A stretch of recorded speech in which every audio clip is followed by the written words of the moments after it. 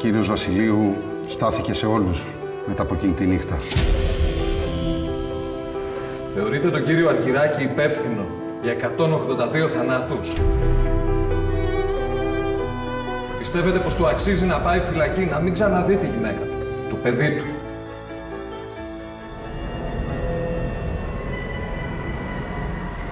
Το ναυάγιο.